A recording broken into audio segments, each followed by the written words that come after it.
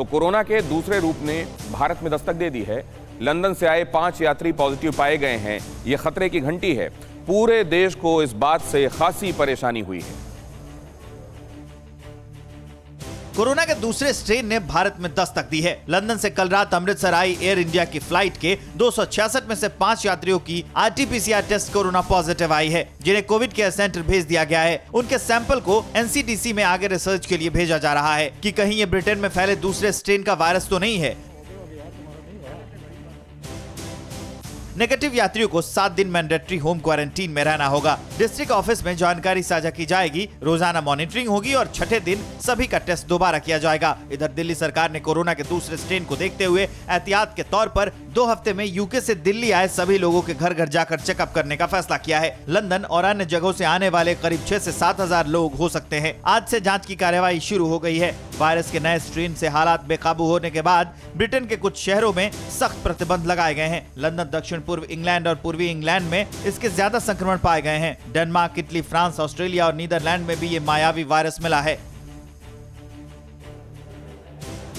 Virus के नए attack के बाद सीएसआईआर अब आरटीपीसीआर जाँच में तकनीकी बदलाव करने पर विचार कर रहा है।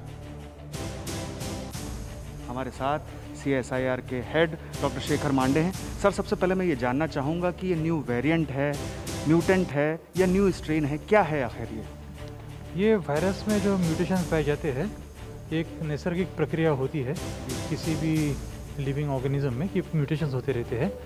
वैसे इस वायरस में एक नया म्यूटेशन पाया गया है ब्रिटेन में और जो तेज़ी से फैल रहा है ऐसे वहाँ के शास्त्रज्ञ लोग कह रहे हैं। तो इसको नया स्ट्रेन तो नहीं कह सकते अभी ये एक म्यूटेंट ही है वायरस का। ये किसी भी ऑर्गेनिज्म में इवन मनुष्य में भी म्यूटेशंस होते रहते हैं। इसको स्ट्रेन कहने के लिए पेरेंटल जो जहाँ से शुरू हुआ था म्यूटेशन होना और दो अलग अलग चीज़ों में काफ़ी अंतर होना चाहिए। वैसे स्ट्रेन कहने के लिए अलग जब अंतर हो जाता है तो उसको अलग स्ट्रेन कहते हैं। आर टी का ऐसे होता है कि वायरस का अपना जो जिनोम कंटेंट है वो बड़ा लंबा आरएनए है। और उसके छोटे छोटे अगर टुकड़े देखे उसको प्राइमर करके उसका आरटीपीसीआर करते हैं। ऐसी तो कोई इसके ऊपर ये पता नहीं चला है कि इससे डेथ रेट ज़्यादा बढ़ेगा या ज़्यादा एग्रेसिव ऐसा कुछ नहीं है। लेकिन फैलने में थोड़ा तेज़ी से फैलता है। ऐसा वहाँ के शास्त्रियों का कहना है। तो देश में कोरोना के नए अवतार की दहशत तो है लेकिन वैक्सीन पर आई खुशखबरी ने दिल को सुकून दिया है। दिल्ली एयरपोर्ट पर कोरोना वैक्सीन के लिए सभी तैयारियाँ पूरी कर ली गई। देश में कोरोना के दिन लद गए हैं और कुछ ही दिनों में कोरोना वैक्सीन की पहली खेप आने वाली है। इसको लेकर तैयारी पूरी कर ली गई है। दिल्ली एयरपोर्ट पर पहली खेप उतरेगी।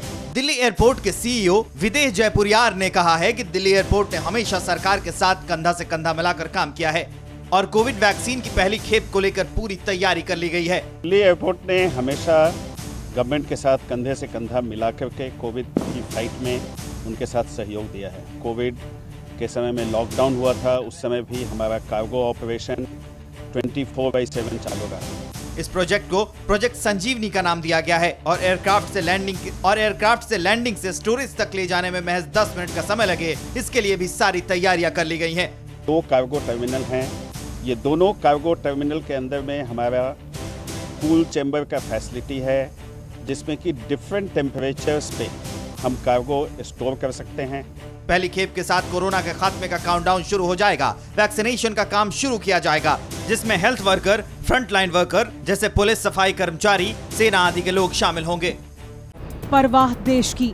सोमवार से शुक्रवार रात 10 बजे टीवी 9 भारतवर्ष पर।